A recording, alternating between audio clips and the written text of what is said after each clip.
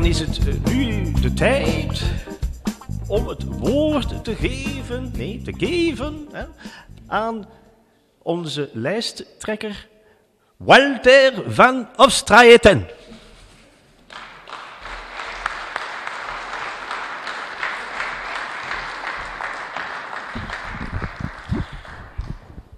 Dank, u wel, Elio. Dank u wel, Annemie, voor de mooie speech, voor de mooie woorden. Inderdaad, wij komen uit een zeer moeilijke periode. Een jaar geleden was er geen nieuwjaarsreceptie hier in Zoersel. Dus het is al twee jaar geleden dat we uh, jullie hebben kunnen verwelkomen. Uh, omdat een jaar geleden er volop inderdaad achter de schermen besprekingen bezig waren om toch terug Open VLD Zoersel op de rails te zetten. En ik wil dan ook in het bijzonder uh, een aantal mensen hier ook aanwezig die daaraan meegewerkt hebben, van harte bedanken. In eerste instantie de mensen van het dichtstbij, zijn de Jolande Avondrood en Dirk Dielen vanuit Schilde. Maar ook uh, in een volgende fase Dirk Sterks, die vanuit, uh, vanuit Lint hè, ook uh, de zaak mee uh, bemiddeld heeft. En in de laatste fase hè, Annemie Turtelboom uh, herself, hè, die ervoor gezorgd heeft uiteindelijk dat door de aanstelling van Christophe Thomas uiteindelijk Open VLD Zoersel terug op de rails gezet is vanaf mei van dit jaar, van vorig jaar, sorry. We zijn nu een half jaar later, zeven, acht maanden later. Ondertussen is er hard gewerkt met de mensen uh, binnen het bestuur. Want zoals Annemie het ook al gezegd heeft, ja, elke politieke partij kan maar succesvol zijn als er voldoende uh, eendracht is in de partij, dat de mensen elkaar vertrouwen. Onze slogan van dit jaar is tenminste vol vertrouwen en we willen dan ook verder gaan met de mensen waar dat er voldoende intern vertrouwen is tussen de mensen. En in die zin zal ik ook een ploeg trachten samen te stellen die in oktober van dit jaar naar de kiezer zal gaan. Een ploeg waar dat ook de kiezer hier in Zoesel vertrouwen zal in hebben. Want er is heel veel kieserspotentieel voor Open VLD, maar de mensen moeten Open VLD Zoesel ook percipiëren als een coherente uh, groep waar het goed is uh, om bij toe te horen. Om even terug te gaan in het verleden. We hebben al twee goede verkiezingen gehad. In 2000 zijn we met zes mandaten in de gemeenteraad gekomen. weliswaar in de oppositie beland. Uh, toen was de reden ook al een beetje dat andere potentiële coalitiepartners met Open VLD, die toen ook zes zetels had, niet in zee wou gaan. Omdat de cohesie binnen de groep toen ook al zoek was uh, tussen bepaalde mensen uh, uh, van destijds. Zes jaar later, in 2006, hebben we opnieuw met Stan Bartlemezen als lijsttrekker een zeer mooi verkiezingsresultaat behaald. We zijn er weer in vooruit gegaan in procenten en we hebben andermaal zes zetels bemachtigd. Maar zelfs met die zes zetels op de 27 zijn we voor een tweede keer in de oppositie uh, beland. Hè, omdat, ja, omdat de meerderheid die dat uh, mogelijk maakte om met 14 zetels toch verder te gaan.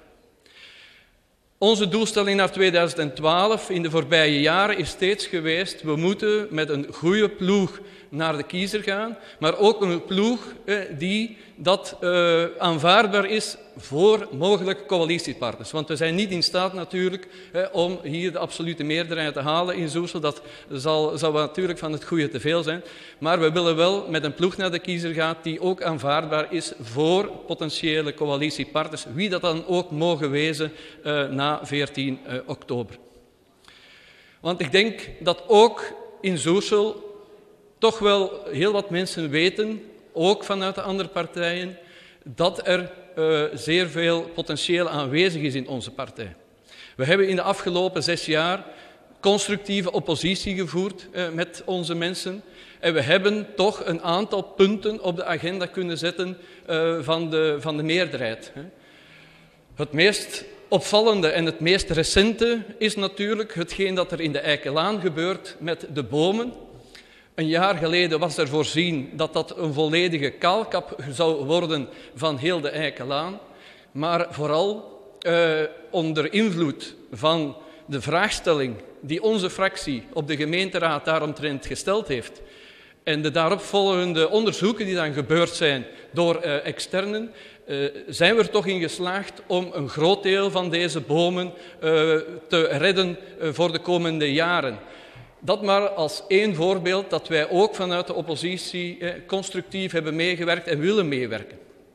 En dat willen we ook doen natuurlijk na 14 oktober. En we hopen dat hier ook een aantal mensen in de zaal zitten die mee onze lijst willen uh, vullen, mee onze lijst willen steunen, eh, zodanig dat we zeer succesvol kunnen zijn en dat we volgend jaar u misschien nog een, uh, een iets happiger hapje kunnen aanbieden want zoals je weet, een partij die in de oppositie zit, zit niet zo ruim bij kas hè, om er een zeer luxueuze receptie van te maken. Uh, maar we hebben er toch voor geopteerd hè, om u te vergezellen van een hapje, een drankje, een broodje.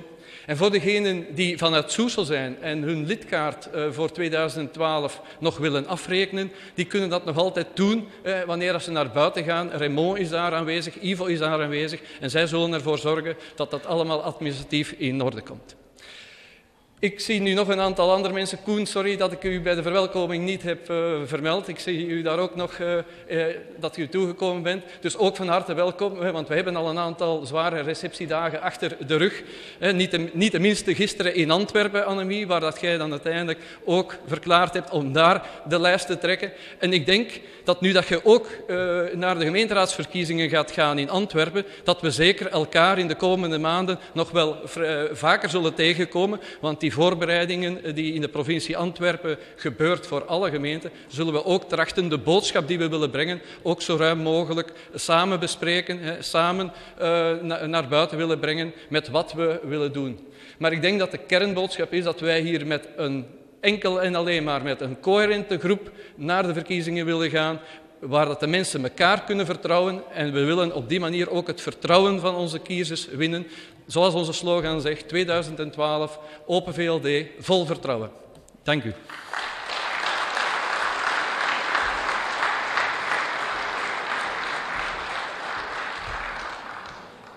Bedankt, uh, Walter, uh, voor deze mooie woorden. Hoopvol, vertrouwen. Maar ik heb wel een mededeling wij hadden een stand-up comedian besteld, maar die stuurt voorlopig zijn kat. Hij zou vandaag vertrekken uit Marrakesh, heb ik begrepen. Misschien heeft hij vertraging opgelopen, maar dus Youssef El Messaoui, die gaat misschien niet komen. Uh, goed, het koor dat we daar juist hebben gestart, ik zou nu graag iets harmonieus willen horen. Het stemmenpotentieel van Zwersel wil ik eigenlijk nu met u peilen en ik heb daarvoor een liedje gecomponeerd. Ik zou dat graag samen met u zingen. Het liedje is op het wijsje van Sophie de Krokodil. Wie, wie, kent dat? U kent dat, mevrouw, meneer. Sophie de Krokodil, die tatert maar, die tatert maar. Ja, u kent dat? Ja, ik zie... Oh. Niet iedereen kent dat. Maar goed, het gaat dan eigenlijk uit dankbaarheid aan de vader van onze voorzitter, Alexander, Herman de Croo. We zijn die heel dankbaar dat hij zo een mooie voorzitter eigenlijk ter wereld gebracht heeft. En het liedje gaat dan als volgt. Het gaat dan over Herman de krokodil. Die tatert maar, die tatert maar. Herman de krokodil, zijn mondje staat niet stil. En de tweede strofe is dan Sander de krokodil, die tatert veel, die tatert veel. Sander de krokodil, die tatert en het wordt stil. Maestro, ik hoop echt waar dat u allemaal meezingt. Stan, jij ook? Ja? Ja, dank u wel.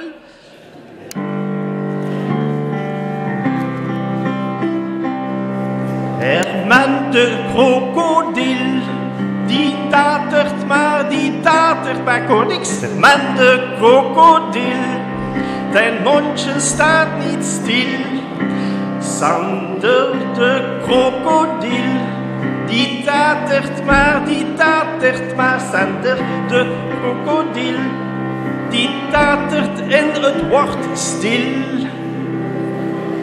Ja, er is ook echt nog veel werk aan de winkel. Daarom stel ik dan voor dat jij nu nog één deuntje speelt en dan gaan wij afsluiten. Dames en heren, een van onze grote talenten, Olivier, 10 punt.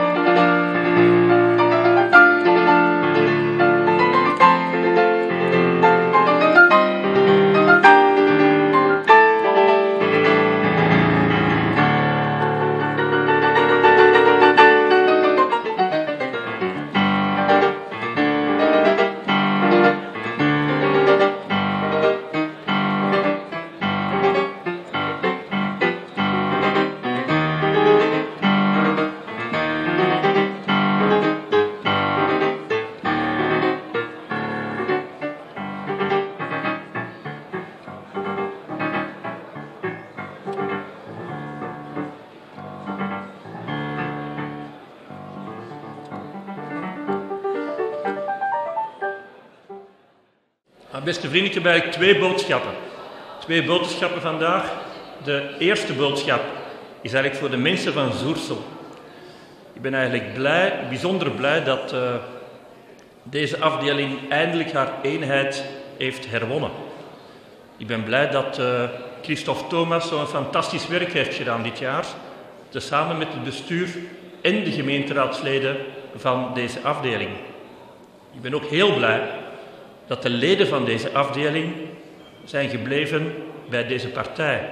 Ik ben blij dat ze zoveel geduld hebben gehad.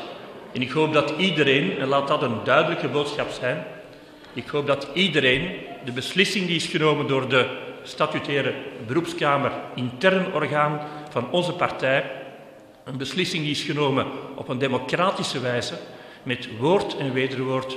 Ik hoop dat iedereen, bestuursleden, gemeenteraadsleden, leden en sympathisanten, dat iedereen die boodschap wil noteren en die wil respecteren.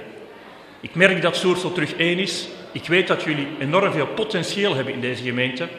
En ik weet dat 14 oktober een mooi resultaat kan gegarandeerd worden met deze ploeg.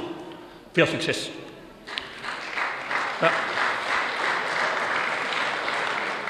Maar bovendien, beste vrienden, ik weet niet of onze minister hier nog aanwezig is. Maar alleszins, ik heb eh, voor onze minister, die nu uh, naar de grote stad is gegaan, naar Antwerpen, ik heb voor onze minister, en ook voor jullie een klein beetje, een cadeau bij. Want vanmorgen eigenlijk, toen ik hoorde op de radio, ik was gisteren op de receptie, maar ik hoorde op de radio dat Annemie Turtelboom inderdaad dus naar Antwerpen komt, dan kreeg ik telefoon van een paar mensen. En die melden mij van, wij willen jullie steunen, liberalen. En die mensen zijn van allochtone afkomst. Die mensen zijn Albanees van nationaliteit. Die waren Pools van nationaliteit. En die Albanees-Poolse plakploeg, die wij vorig jaar, anderhalf jaar geleden ook hebben gehad, die plakploeg die heeft nu aangeboden om ons allemaal, Annemie weliswaar in de eerste plaats, en zo hoort dat, maar ook Schilde en ook Soersel en ook Malle en ook alle andere afdelingen te helpen bij het plakken, het zware werk voor 14 oktober. Allemaal veel succes toegewenst en veel steun van mij en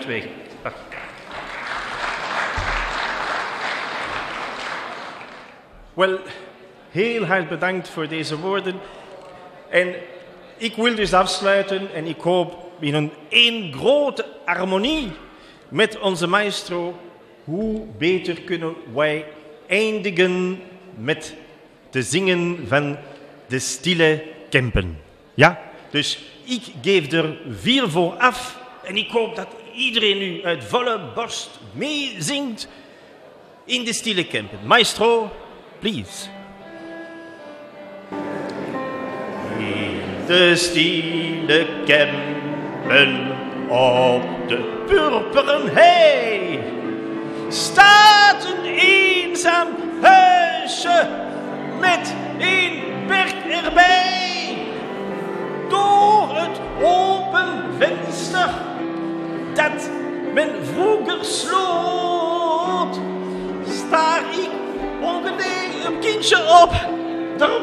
moeders. Schoon, ja, hoe schoon op de wereld, de zomerse hei. Daar is hier op aarde de hemel voor mij. Schoon op de wereld, de zomerse hei. Daar is hier op aarde de hemel voor mij. Dank u wel.